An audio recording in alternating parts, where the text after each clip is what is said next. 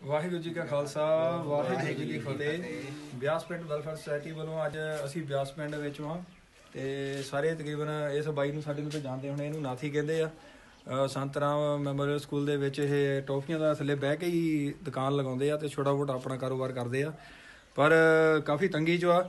ਅਸੀਂ ਜਿੱਦਾਂ ਪਿਛਲੀ ਵਾਰੀ ਇਹਨਾਂ ਨੂੰ ਹੈਲਪ ਕੀਤੀ ਸੀ, ਇਸੇ ਤਰ੍ਹਾਂ ਅਸੀਂ ਆਪਣੀ ਦੂਸਰੀ ਹੈਲਪ ਲੈ ਕੇ ਹੁਣ ਇਹਨਾਂ ਕੋਲ ਪਹੁੰਚੇ ਆ।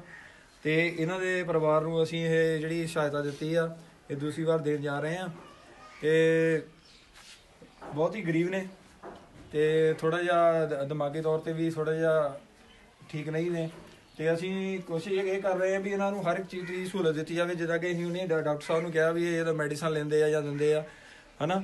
ਤੇ ਇਹਨਾਂ ਨੂੰ ਕੋਈ ਚਾਰਜ ਨਹੀਂ ਲਿਆ ਜਾਂਦਾ ਤੇ ਇਸੇ ਤਰ੍ਹਾਂ ਅਸੀਂ ਇਹ ਸੇਵਾ ਕਰਦੇ ਰਵਾਂਗੇ ਤੇ ਬਾਹਰਲੇ ਐਨਆਰਏ ਵੀਰਾਂ ਦਾ ਖਾਸ ਤੌਰ ਤੇ ਧੰਨਵਾਦ ਆ ਜਿਹੜੇ ਸਾਡੀ ਸੁਸਾਇਟੀ ਨੂੰ ਇਹਨਾਂ ਇਹ ਉੱਪਰ ਚੱਕ ਰਹੇ ਆ ਪੈਸੇ ਭੇਜ ਰਹੇ ਆ ਤੇ ਹੋਰ ਅਸੀਂ ਇਹ ਚਾਹਾਂਗੇ ਵੀ ਜਿੱਦਾਂ ਵੀ ਪਿੰਡ ਵਾਲੇ ਵੀ ਆ ਸਾਰੇ ਉਹ ਸਾਡੇ ਨਾਲ ਜੁੜਨ ਤਾਂ ਜੋ ਇੱਕ 100 100 ਰੁਪਇਆ ਦੇ ਕੇ ਅਸੀਂ ਆਪਣੀ ਸੇਵਾ ਦਾ ਫਲ ਪੂਰਾ ਲੈ ਸਕੀਏ।